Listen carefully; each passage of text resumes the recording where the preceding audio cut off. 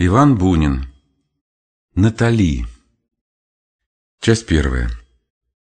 В то лето я впервые надел студенческий картуз и был счастлив тем особым счастьем начала молодой свободной жизни, что бывает только в эту пору. Я вырос в строгой дворянской семье в деревне, и юношей, горячо мечтая о любви, был еще чист душой и телом, краснел при вольных разговорах гимназических товарищей, и они морщились, шел бы ты, Мещерский, в монахи. В то лето я уже не краснел бы.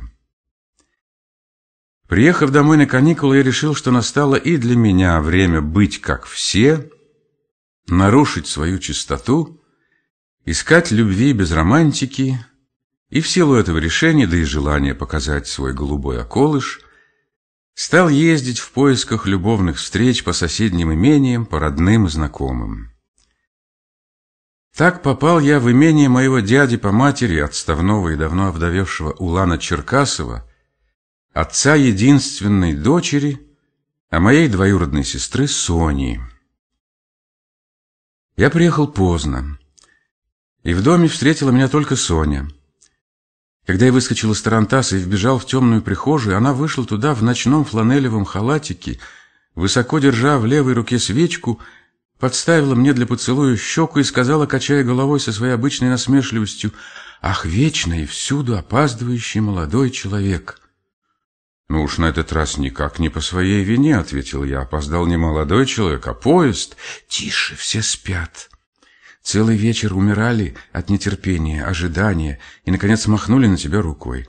Папа ушел спать рассерженный, обругав тебя вертопрахом, а Ефрема, очевидно оставшегося на станции до утреннего поезда, старым дураком. Натали ушла обиженная, прислуга тоже разошлась. Одна я оказалась терпелива и верна тебе. Ну, раздевайся и пойдем ужинать. Я ответил, любуясь ее синими глазами, поднятой, открытой до плеча рукой. «Спасибо, милый друг. Убедиться в твоей верности мне теперь особенно приятно. Ты стала совершенной красавицей. И я имею на тебя самые серьезные виды. Какая рука, шея, и как соблазнителен этот мягкий халатик, под которым, верно, ничего нет». Она засмеялась. «Почти ничего». Ну и ты стал хоть куда и очень возмужал. Живой взгляд и пошлые черные усики. Только что это с тобой? Ты за эти два года, что я не видала тебя, превратился из вечно вспыхивающего от застенчивости мальчишки в очень интересного нахала. И это сулило бы нам много любовных утех, как говорили наши бабушки, если бы не Натали, в которую ты завтра же утром влюбишься до гроба. «Да кто это Натали?» – спросил я, входя за ней в освещенную яркой висячей лампой столовую с открытыми в черноту теплой и тихой летней ночи окнами. «Это Наташа Станкевич, моя подруга по гимназии, приехавшая погостить у меня. И вот это уж действительно красавица, не то что я. Представь себе, прелестная головка, так называемые золотые волосы и черные глаза». И даже не глаза, а черное солнце, выражаясь по-персидски. Ресницы, конечно, огромные и тоже черные, и удивительный золотистый цвет лица, плечей и всего прочего. «Чего прочего?» — спросил я, все больше восхищаясь тоном нашего разговора. «А вот мы завтра утром пойдем с ней купаться. Советую тебе залезть в кусты, тогда увидишь чего. И сложена, как молоденькая нимфа». На столе в столовой были холодные котлеты, кусок сыра и бутылка красного крымского вина. «Не прогневайся, больше ничего нет», — сказала она, садясь и наливая вина мне и себе. «И водки нет, ну, дай бог, чокнемся хоть вином». «А что именно, дай бог?» «Найти мне поскорей такого жениха, что пошел бы к нам во двор. Ведь мне уже двадцать первый год, а выйти куда-нибудь замуж на сторону я никак не могу. С кем же останется папа?» Ну, дай бог. И мы чокнулись. Немедленно выпив весь бокал, она опять со странной усмешкой стала глядеть на меня, на то, как я работаю вилкой, стала как бы про себя говорить, «Да ты ничего себе, похож на грузина и довольно красив. Прежде был уж очень тощий, зелен лицом.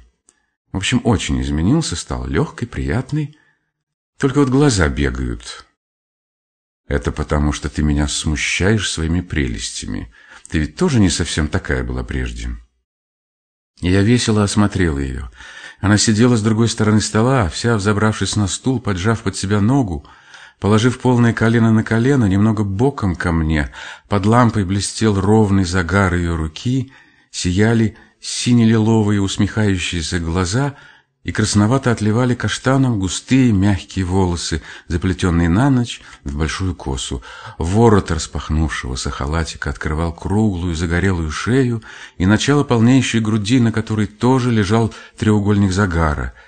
На левой щеке у нее была родинка с красивым завитком черных волос. «Ну а что, папа?»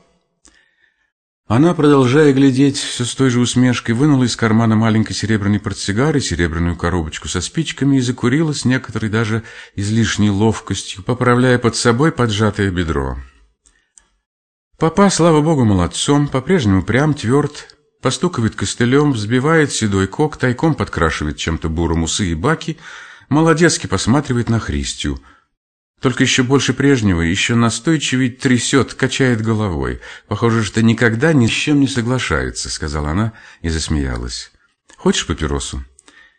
Я закурил, хотя еще не курил тогда. Она опять налила мне и себе и посмотрела в темноту за открытым окном. Да, пока все, слава богу. И прекрасное лето, ночь-то какая, а? Только соловьи уж замолчали. И я, правда, очень тебе рада.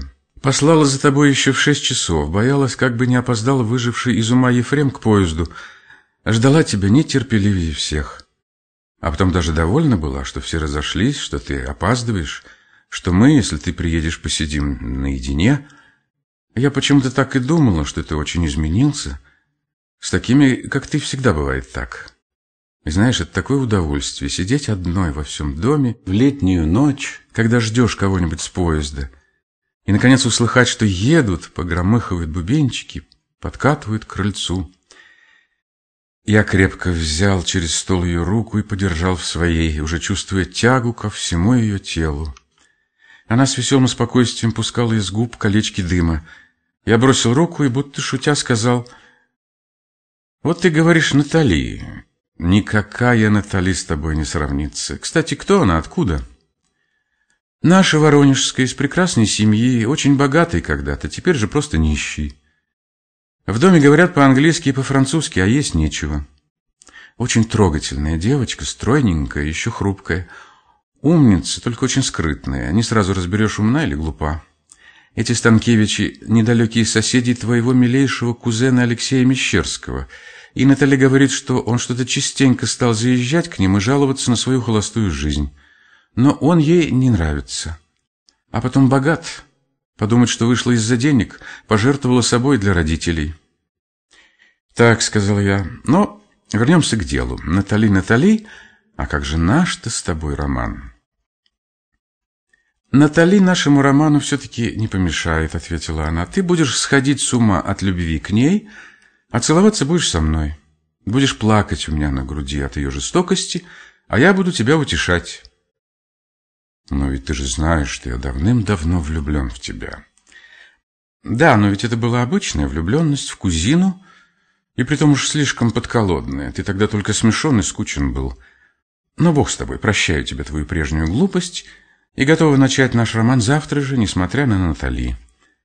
А пока идем спать, мне завтра рано вставать по хозяйству. И она встала, запахивая халатик, взяла в прихожей почти догоревшую свечу и повела меня в мою комнату.